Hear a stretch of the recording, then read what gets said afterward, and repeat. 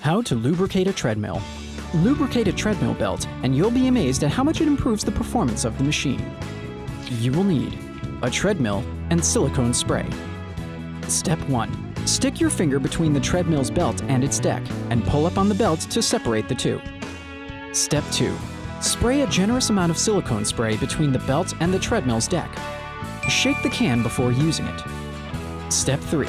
Move to the other side of the treadmill and lubricate the other side. Remember to lubricate the belt every 3 to 6 months for maximum performance. Step 4. Turn on the machine and let the belt run at a medium speed for 2 to 3 minutes. Now hop on and get your workout on. Did you know? The first medical treadmill was used by a cardiologist named Robert Bruce in 1952.